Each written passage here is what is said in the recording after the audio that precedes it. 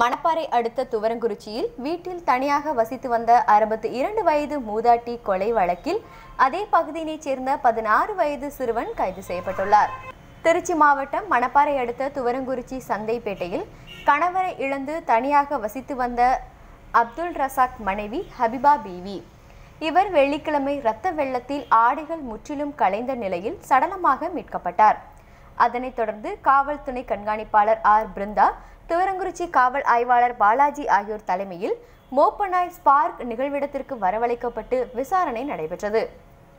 மோப்பனாய் அதே பகுதியினை சுற்றி வந்து மூதாட்டியின் வீட்டின் அருகிலேயே நின்றுவிட்டது. இதனால் கொலையாளி அதே பகுதியினை சேர்ந்தவராக இருக்கலாம் என்ற கோணத்தில் அப்பகுதி சிசிடிவி காட்சிகளை சேகரித்து காவல்துறையினர் விசாரணை மேற்கொண்டனர்.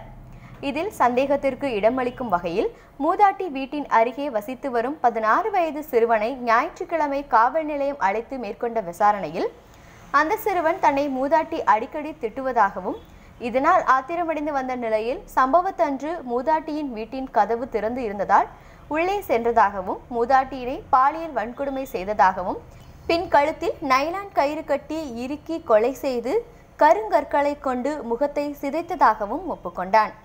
மேலும் மூதாட்டியின் மூன்று சவரன் செயின் மற்றும் செல்லிடை பேசினை எடுத்து சென்றதாகவும் சிறுவன் ஒப்புக்கொண்டதை அடுத்து வன்கொடுமை கொலை திருட்டு ஆகிய பிரிவின் கீழ் வழக்கு பதிவு செய்த துவரங்குறிச்சி காவல்துறையினர் சிறுவனை கைது செய்துள்ளனர்.